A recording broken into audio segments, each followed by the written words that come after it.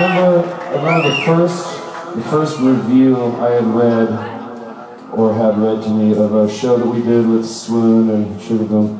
When it got to Swoon's review, it said, "Oh my God, a real live sprite was on stage."